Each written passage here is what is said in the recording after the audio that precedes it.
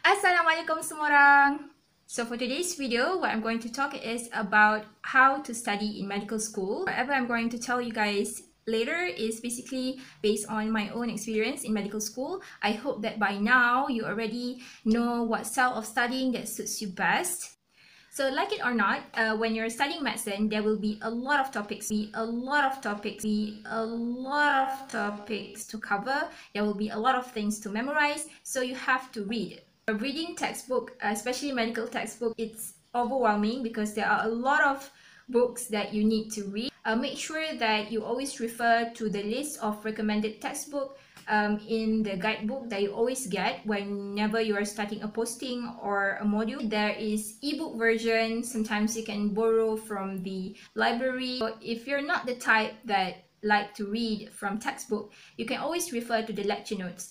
Um, some of the lecturers are not keen to give their slides to you guys. So basically during the lecture, you can always uh, multitasking. You have to focus, but at the same time, you have to jot down whatever important points um, in your notes. So there are also um, textbook and notes uh, made by uh, junior house officers, medical officers. Uh, so this is kind of additional references that you should keep it to yourself. Don't bring it uh, during your ward rounds or during your bedsides with your lecturers because most of the lecturers do not prefer you refer solely based on these kind of notes because uh, there might be errors uh, there might be um, misleading information from this kind of notes. So make sure that you refer back to the recommended textbook.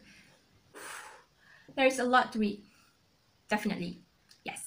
The next way to study medicine is basically drawing and writing drawing like flowcharts, colorful graphics, tables, you know, it's easier for you to just understand what is the important points and it's easier for you to memorize it. Writing your own short notes is very, very um, beneficial for you. It makes you remember better. Uh, it is kind of a practice for you when you're going to work. Uh, you have to write fast and your writing must be eligible to read. So the next way to study medicine is basically you have to practice, have to practice, have to practice. So during preclinical years, your focus is more towards understanding the basic things, having exams, doing the assignments. Uh, but when you enter clinical years, there are a lot of additional things that you need to do, um, such as clerking history, doing physical examination, presenting your cases in front of your lecturers, in front of your friends, as well as the structure of the questions is a bit more um, difficult compared to the preclinical years. Um, so like it or not, you have to practice.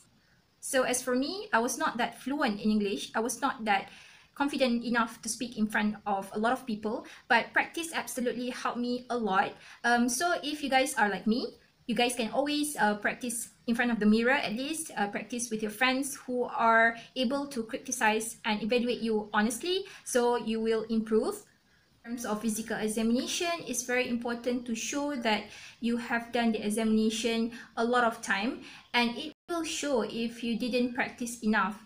Um, it is very important to make sure that the patient are comfortable and the examiner or the doctor know what you are doing and always uh, practice the objective questions in terms of best answer questions, um, short answer questions. There will be essays sometimes, um, OSCE. Um, sometimes your seniors are kind enough to uh, share with you in the past year's collection. So make use of that. Uh, most of the questions is kind of a clinical scenarios. It is kind of integrated questions that um, needs you to think fast because most of the exams is just 30 minutes and you have like 30 questions.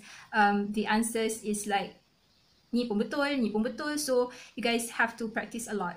Whenever I feel like I have no mood to study properly. So this is a more fun and interesting way for me to study medicine which is by watching series and movies. Because I know the feeling of you try to study a lot, but you gain nothing from that. You know, your and your brain is just tired. So this is like a more relaxed way of gaining knowledge. And here are the list of the series and dramas and movies that um, I've watched.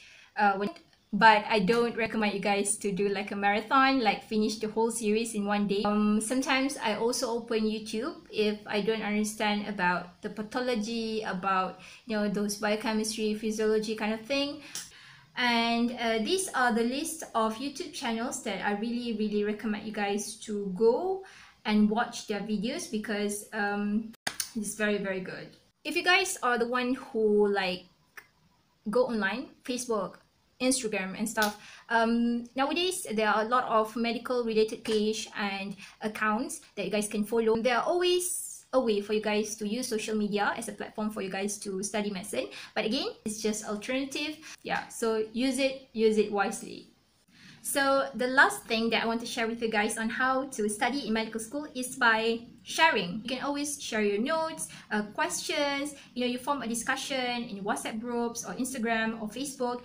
And I think that you know when you share something it's easier for you to memorize them it's easier for you to remember them and whenever there is discussion you may learn something new so hopefully this video is very helpful for you guys especially for medical students as well as you guys who are interested to pursue your study in medicine if any of you guys that are watching who have not subscribed yet to my channel hopefully you guys are willing to subscribe for more beneficial contents. So yeah